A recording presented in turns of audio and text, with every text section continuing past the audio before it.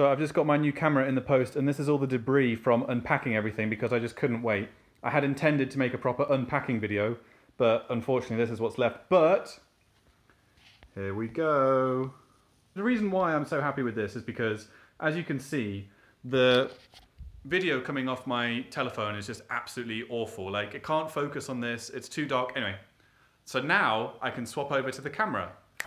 See, that is just so much better. I really, really love this new setup. It is so much fun. I had, I had the best time unpacking all of this stuff, really, honestly. It totally felt like Christmas. Oh, that is if your insurance company is Father Christmas and the presents are all stuff that you bought before and then were stolen. The, the metaphor doesn't necessarily hold up, but I enjoyed myself opening it, definitely. so I'm in Lyon, and I've been in Lyon for the last two weeks-ish. Lyon is so great so far. My Airbnb host is incredible. We went to this Irish bar around the corner. He was like, oh, you're British, you'll like this, let's go to the pub. And we thought we'd get some food, so he went off to the bar and he was like, oh, I just got a mix of stuff. I was like, oh, okay.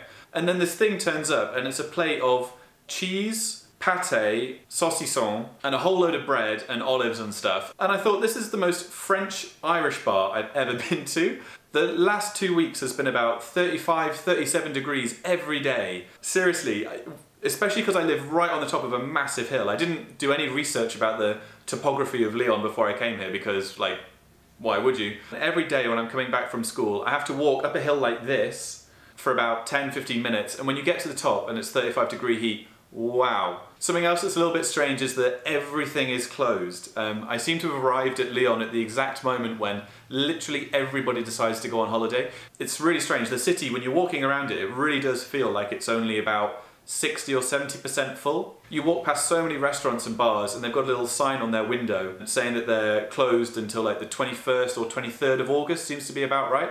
Speaking of food and all that sort of stuff actually, I'm going to change the lens and swivel it around because I'm going to make some food uh, while I tell you the next bit about school. Okay, let me just reposition this ever so slightly. So I feel like we're going much more steady, I would say, at this school. We tend to learn one thing and then we'll kind of stick with it for a while. And I think it means that I'm learning stuff a bit more in depth than perhaps I would have done usually.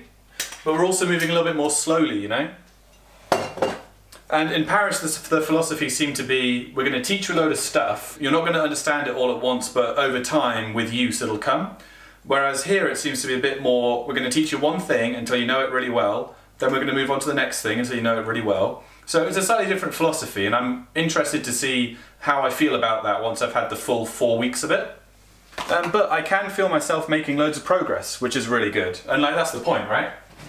the fact that I am practicing everything a few times before uh, we move on is really helpful. I've got to a point with some of the like the, the basic interactions, like when you're in a shop or a restaurant, that they won't immediately change to English when they see me, which is quite the plus for me.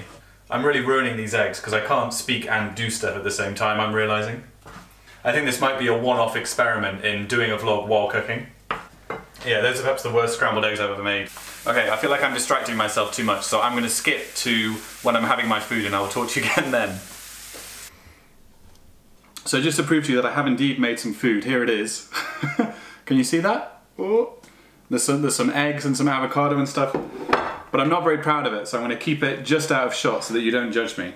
So, to conclude, it's been really nice to meet a load of new people at school it's been really nice to like try out a new school philosophy as well, a new way of learning. It was far less social initially than um, than the Paris school. It took until Thursday to even start a WhatsApp group for us, which may sound like a bit of a first world problem. Anyway, now it's very different and we've all started speaking and I've been out for drinks a couple of times with the guys, which is really nice. And we've been and had dinner in Vieux-Lyon, which is the old town. Really good fun. Something that's quite odd is that literally everybody in my class is either Spanish speaking or a priest, or both. And I feel like the odds wouldn't have told you that in advance.